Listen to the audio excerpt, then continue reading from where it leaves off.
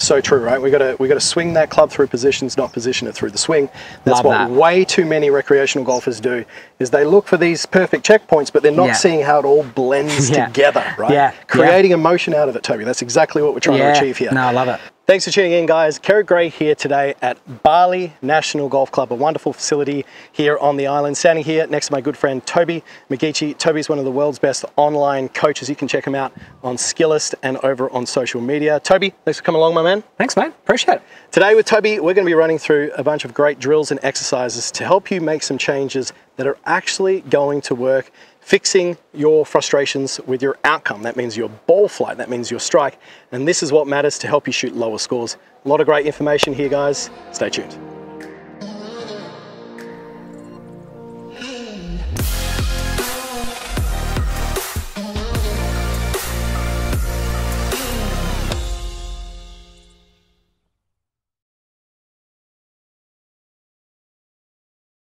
Okay, Toby, so what we're looking at here is a player who actually has a really nice aesthetic golf swing through a lot of stages throughout Yeah. the motion, right? And he can shoot great scores. But Yeah. he came to you, he said he was really struggling with his consistency of scoring under pressure. Big word. Yep. Consistency. Yeah, absolutely. He's a great range player. Uh, at home with no pressure, he can go out and he can shoot some low scores. Yeah. But when it comes to something that meant a lot, he just felt like he didn't really have much control over his swing. Yeah. right? I agree. So what we've got here, and we are talking about this earlier when we were analysing, we were kind of running through uh, both our perceptions of what happens with this golfer's swing, is we've got the model over here on the left-hand side at the lead arm parallel in the backswing position and got him at as well. Now, within reason, without looking too much at the subtleties, these look very similar, correct? Yeah, yeah, and exactly even if you were just to send a 2D image of this guy to me, I'll say, yeah, he could, he could probably get it done. Yeah. But really from here Yeah. to the top of the motion Yeah. is where we start to see some huge differences, right? Yeah. Now, on top of the inconsistency that he was experiencing when he was playing and the frustration that ensues from that, what else was he kind of detailing to you that he really wanted to improve with his game? For him, right, that he felt like he did not know what the ball was going to be doing. Yeah. So it wasn't like it was a consistent, maybe an overdraw under pressure. Yeah. It, was, it did not know what was going to come into play. Okay. You know, and like you say, when the recreational golfer, the amateur golfer, or even some coaches for that matter, look at just screen grabs, Oh, yeah. you can be misguided to what's really going on because we want to know where things are moving into those positions and how we can react into the golf ball. Hmm. So from here, uh, what we call it P3, right, for our coaching terms here, Mm-hmm. lead arm parallel to the ground. From there, we want to learn, if you take them to the top of the backswing here on the right hand side, oh, it's, yeah, take uh, recreational golfer there, you'll see from the from there, essentially just a fold and an arm lift. so yeah. it gets really narrow there. That shaft is really close to the, the trail shoulder there. Yeah, we can see Not that. a whole lot of width. And if you get Mr. Robert Rock on the left hand side here, you'll see from there as he raises that club head as a visual to see without getting technical is above the hands. Mm. And and for someone, well, for two players who are in a very similar position, let's look at some of the effects that we see here as a result. Well, we can see how much this trail elbow has actually moved past that seam line of his shirt versus Roberts from the same camera angle. You can see how much more in front it is. You can see the length that golf club has swung in regards to where the head is, the stability of the, the wrists, the structure. We can see over here on the right hand side, the club's gone very long, hasn't it? Yeah. So the wrists have begun to get into such a position where they've actually started to extend or get a bit of a cupping look to them at the top.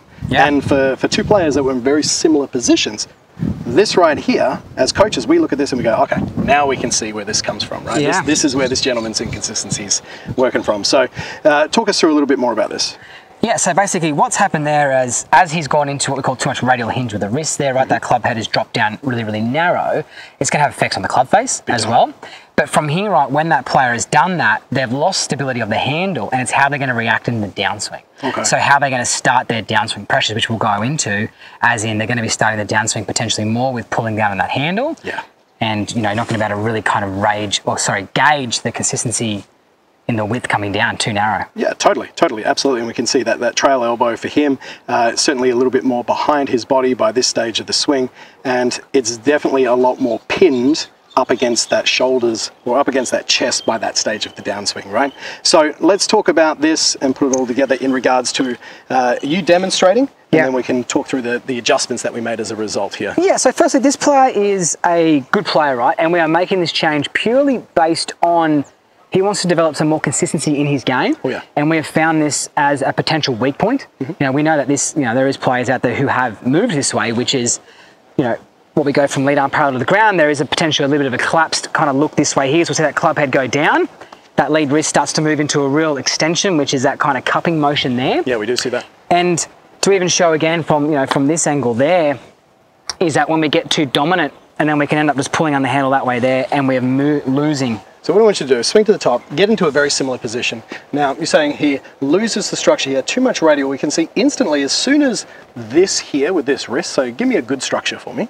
Yeah. Right? We would see that. That would be where the model was. Now, as soon as we get this golf club moving in this direction, we can see this trail elbow move more behind the body. Yeah. We can see this right there begin to move into that cupping position.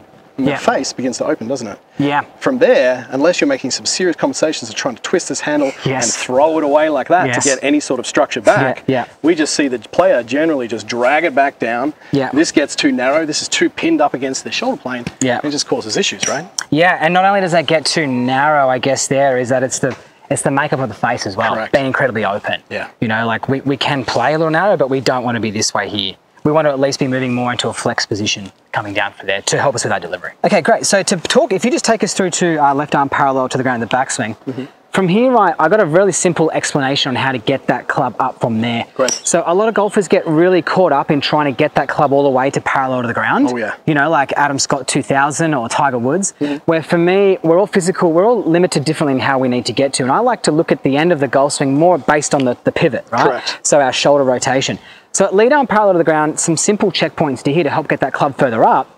The only thing that needs to happen, well, you know, through me, through my, is that the trail arm there will slightly flex a little more as you as you extending your thoracic spine there. Correct. Yeah, so that that's how you move, and not only when you're moving that way, you're actually starting to move your shift your pressures around as well. Yeah, yeah. Because when you go go back down a little bit more again, so if you just collapse that right arm and lift that club up, you've you've stopped moving. Yeah, essentially Yeah. haven't created enough turn of the upper torso to the top of the swing, Yeah. which then has a direct influence in your ability to recenter and shift your pressure correctly in the Yeah. right direction. We can see the effect that this has on that lead knee that you would see with the professional.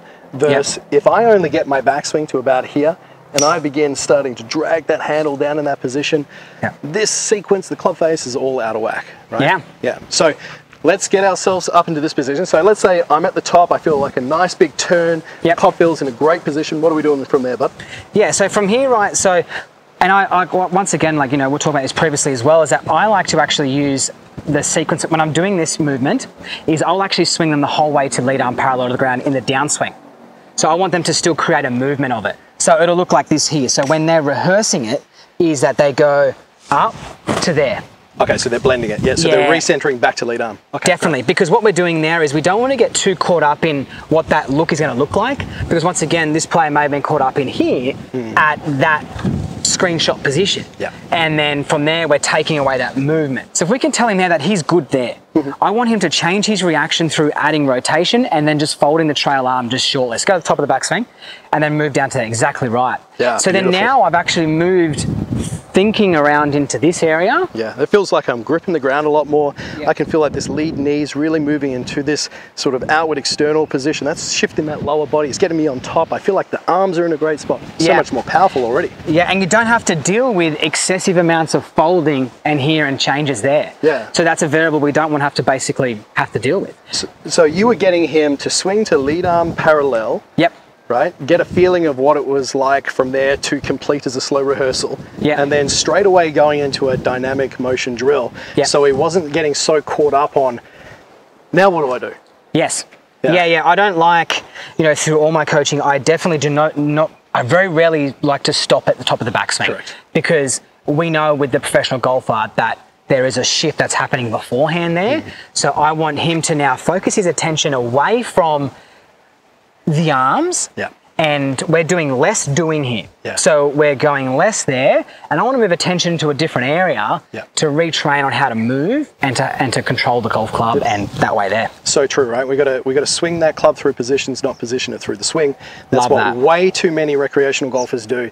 Is they look for these perfect checkpoints, but they're not Yeah. seeing how it all blends Yeah. together, right? Yeah. Creating emotion out of it, Toby. That's exactly what we're trying to achieve here. No, I love it. All right, so should we do a couple of rehearsals of that and then hit one down there? So really focusing.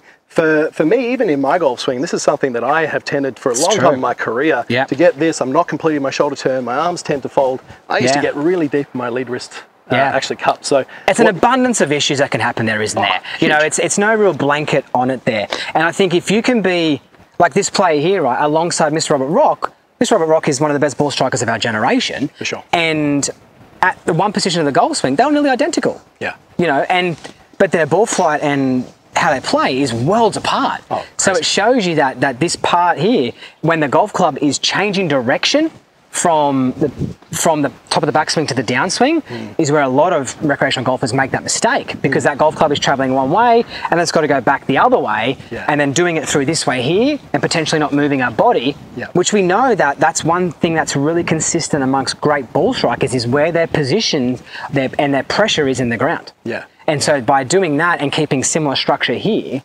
then he can play better golf. Okay, Yeah, great. so show, let's show us again. So what we'll do is I will try and do my best interpretation of what we've just discussed there. So good setup. Uh, I'm first of all just going to get a feeling of what it'd be like to lead arm parallel, and then instead of folding and cupping and not completing, I'm really for me even I'm going to feel like I'm not really doing much at all with my trail arm. Yep. And I'm just trying to feel like I get a little bit more rotation. Okay, that's what it feels like there. Let's blend that into Toby's getting back to lead arm parallel. that. How'd that look there? Yeah, it's pretty good. good? It's really good. And and let's just you know one more time on that is that's going to look different for everyone. Yeah. You know, that's going to look different from where you're going to be. Like, if the, if the viewer is watching this, is to not get too caught up in it all, but where you can feel where that restriction is stopping you. Yeah. Because you don't want to go searching for more because you can potentially lose your angles. So, yeah, find what works for you in that movement then, because everyone looks a little bit different, right? Yeah. Yeah, that looks great. So do that again. For me, it feels like a bigger body swing Yeah. and a smaller arm swing versus a long arm swing and a short body swing. Yeah, so if you're telling the, the listeners or the viewers at home in regards to where, where your pressure is when you go from left arm parallel to there to the downswing again. I, Where- I, I feel that shifting a lot through the ball and lead foot. Yeah, into there. And that's what they're very scared of doing, but that's a whole nother video on itself. Yeah. But that's exactly what we want to be doing. And that, with you doing that, it's bringing the club down for you, not you having to pull on the handle. Yeah, it's it's it's fixing all these effects. Yeah. The, players we can see can start scooping and chicken winging from this position. So by doing this exercise based on tidying up a little bit of what we see at the backswing through a dynamic motion drill, Yeah. which you're giving us, you'll find that the follow-on effects will be seriously impressive with what they can achieve. Yeah, yeah, and and you, but you're moving the focus in a slightly different subject area now because we don't like to say don'ts in the golf swing. Yeah. You know, we want to start moving the doing into a different area. Yeah. And for me, that you are now moving it through here, Yeah. which we can consis- consistently do, Yeah. and getting less of that. Okay. Yeah, great. Okay. So I'll do a couple of rehearsals, then Yeah. I'll hit one down there. Love it. You can see how that ball pops off. So I'm getting that feeling, not letting that trail arm move too far behind me, just feeling like I'm getting a little bit more rotation. Do the recentering drill. That feels Yeah. nice and powerful. How many of these? Three? Yeah, yeah, a few definitely on the range. Yeah, feels great. Okay, now full speed, half speed, what are we doing? yeah, I'd, I'd take it easy. I- Let's I- go. yeah, back it up a little bit. You know, and that's that's fantastic there. And I guess lastly on it all is, you know, doing it at a slightly slower speed is important because you are actually now putting in an extra little bit of a movement, Yeah. and we've got to find time for that. Yeah, mate. Yeah. That felt incredible. Great coaching. Great stuff. Thanks, mate.